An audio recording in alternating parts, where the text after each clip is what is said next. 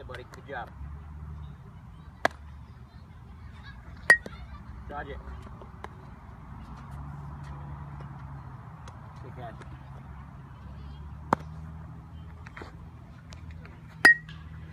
One hop.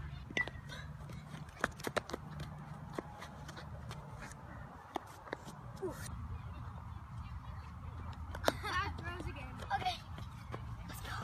All right, good job, Dan.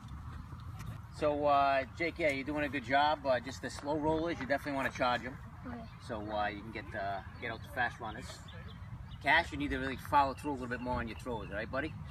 Step into it and, uh, you know, follow through. All right? Okay. all right.